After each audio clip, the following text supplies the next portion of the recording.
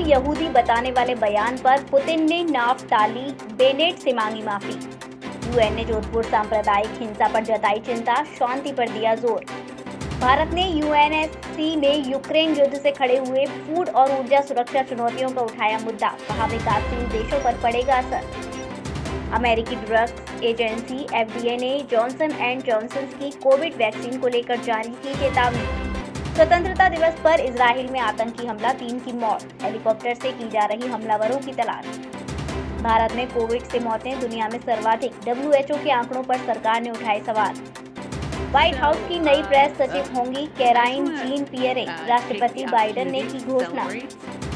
Corona महामारी खत्म होने के बाद लागू किया जाएगा सीएए अमित शाह ने की घोषणा।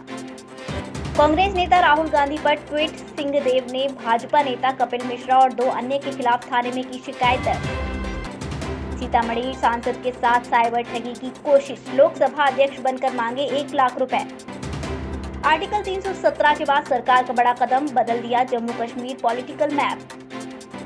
वारंगल में होने वाली राहुल की जनसभा पर टिकी सबकी नज़रें, जेल में बंद छात्रों से करेंगे मुलाकात। बेंजेमा रेड्रिगो के गोल से फाइनल में पहुँचा रियाल मैड्रिड। मैनचेस्टर सिटी पर दर्ज की रोमांचक जीत एंडी मरे बीमारी के कारण मैड्रिड ओपन टेनिस में शीर्ष रैंकिंग के खिलाड़ी नोवाक जोकोविच के खिलाफ अपने मैच से हटे। एमसीएफ जिमखाना के सुशांत नितोदी ने GD Birla memorial inter club badminton tournament में दोहरा ताज जीता। रणवीरों की टोली में अचानक से तब्दीली। बटलर और राहुल देखते रहे, छा गए ये बल्लेबाज। विश्व भर में फुटबॉल का संचालन करने वाली संस्था एफआईएफए को कतर में होने वाले वर्ल्ड कप फाइनल के लिए 30 लाख टिकटों की मांग।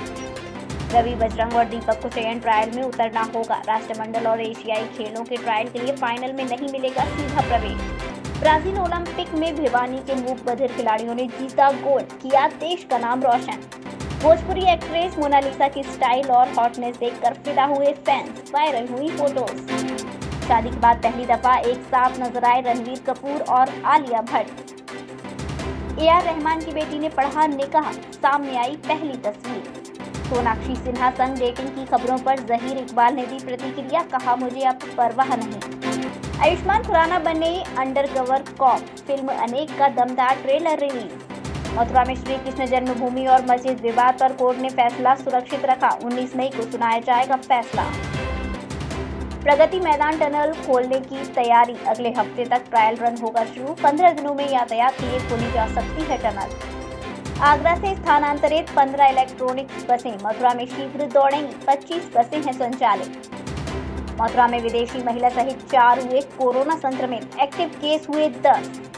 भरतपुर मथुरा गेट थाना क्षेत्र में स्थित विश्वकर्मा कॉलोनी में चोरों ने सूने घर में चोरी की वारदात को दिया अंजाम।